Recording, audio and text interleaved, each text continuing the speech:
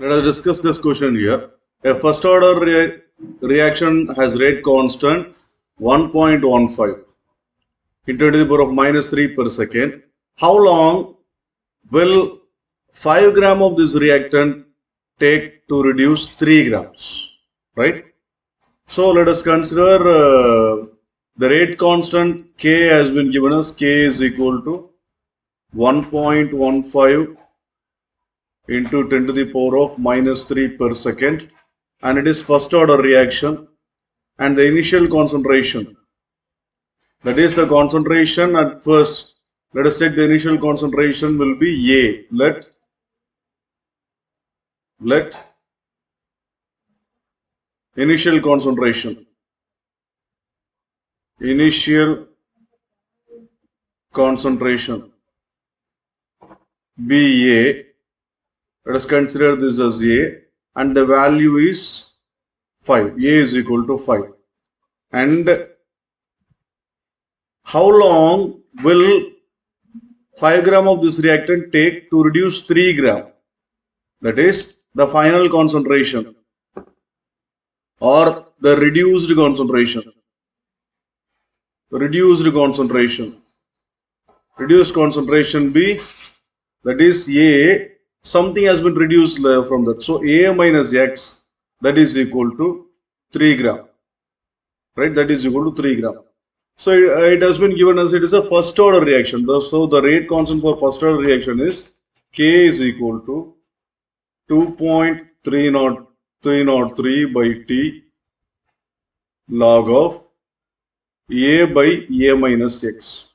So what we have to find out here, how long, that is the time we have to find out here, the rate constant has already bes- has been given. So this equation shall be modified as T is equal to 2.303 by K log of A we had already found it as 5 grams, 5 by 3, right? A minus X is 3 grams. So what is K here? Instead of K, we can write, what is it? 1.15 into 10 to the power of minus 3. Got it? So this can be written as T is equal to 2.303 by 1.15 into 10 to the power of minus 3 into into log of 5 by 3 the value of 5 by 3 log of 1.66667 log of 1.667 so this value that is equal to 2 into 10 to the power of 3 into log of 1.667 is 0.2219 second.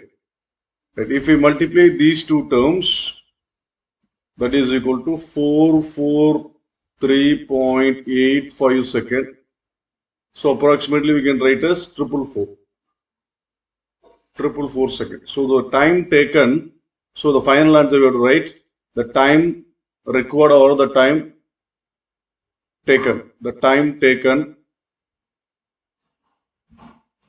to reduce 5 gram of reactant to 3 gram is 444 second right? This should be the answer. Got it